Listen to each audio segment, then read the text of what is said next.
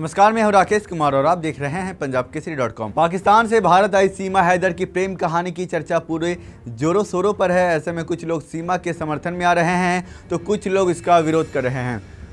Media और प्रशासन उनके सबूतों की तलाश में जुटे हैं। यहाँ अब तक के मामलों में यूपी एसटीएफ की पूछताछ खत्म हो चुकी है, लेकिन इन सब के बीच सीमा हैदर ने एक नया बयान जारी किया उसने कहा है कि मैं पाकिस्तान वापस भेजी गई तो मैं मर जाऊँगी, वहाँ पर लोग मुझे मार देंगे। इसके अलावा सीमा ने बताया कि वो पशुपतिनाथ मंदिर में ही शादी की थी, जिसके बाद उसने कहा कि मुझे उत्तर प्रदेश के मुख्यमंत्री योगी आदित्यनाथ पर पूरा भरोसा है कि वह मेरे प्यार को समझेंगे। इसके साथ ही हम आपको बता दें कि पाकिस्तान से आई सीमा हैदर ने यूपी एटीएस की पूछताछ खत्म होने के बाद शनिवार, यानी 21 जुलाई को नोएडा वापस आ गई।